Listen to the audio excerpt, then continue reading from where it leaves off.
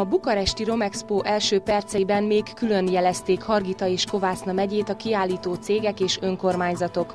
Maros megye is képviseltette magát, egy szovátát népszerűsítő pulttal jelent meg a vásáron. A megnyitó után a két megye tanácselnöke leszerelte a Hargita és Kovászna táblát, és helyükre egy egységes Székelyföld felirat került.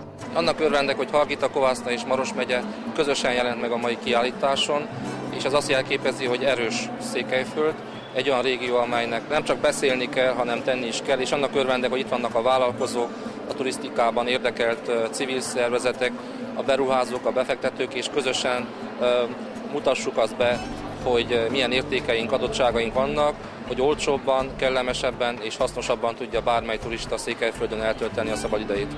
Az összefogásnak már kézzel fogható jelei vannak. A Kovászna megyét képviselő bálványosi panzió menedzsere szerint teli találat a régió egységes megjelenítése, hiszen a közös Székelyföld stand révén 75 turisztikai iroda érdeklődött a vendégfogadójuk iránt. Az irodák többségével már szerződést is kötöttek, ugyanakkor számtalan egyéni utazó is végigböngészte a vidék turisztikai kínálatát. Tehát egy székelyföldi korutat is tervezhet annak alapján, hogy mit látott ő a székelyföldi standon. Tehát szerintem ez volt a fő gondolata azoknak, akik elgondolták és megtervezték ezt az egész székelyföldi standot, hogy mint egység mutassa be a székelyföldet, nem mint kis darabok, ami szétszórva létezünk, hanem egy, egy egység, egy nagy egység, amelyikben sok egyén van, de egyént, mint csapat, sokkal jobban reprezentáljuk a vidékünket, mint külön-külön egy-egy 10 négyzetméteres standon. A Székelyföldet Hargita és Kovászna megye képviselte hangsúlyosabban, de egy pult erejéig a meseszép környezetben fekvő Maros megyei Szováta ajánlatai is megjelentek a vásáron. A Medvetó környékén fekvő szállodák és panziók iránt meglepően sokan érdeklődtek.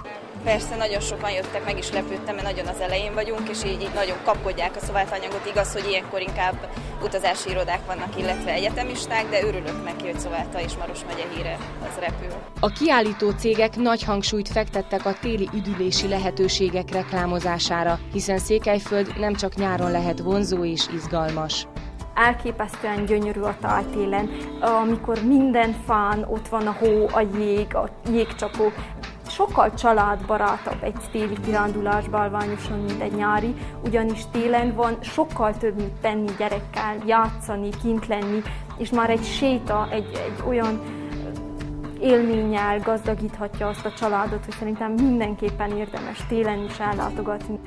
Hargita Kovászna és Maros megye a közös standal megmutatta, hogy a siker felé vezető út az összefogásban rejlik.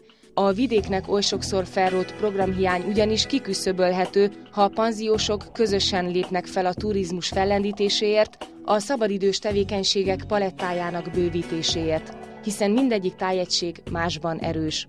Az együttműködéssel a sieléstől a kutyaszánhúzó versenyen, vagy akár az extrém sportokon át a Disznótoros Fesztiválig számtalan élményt kínálhat télen is ez a gyönyörű régió, a Székelyföld.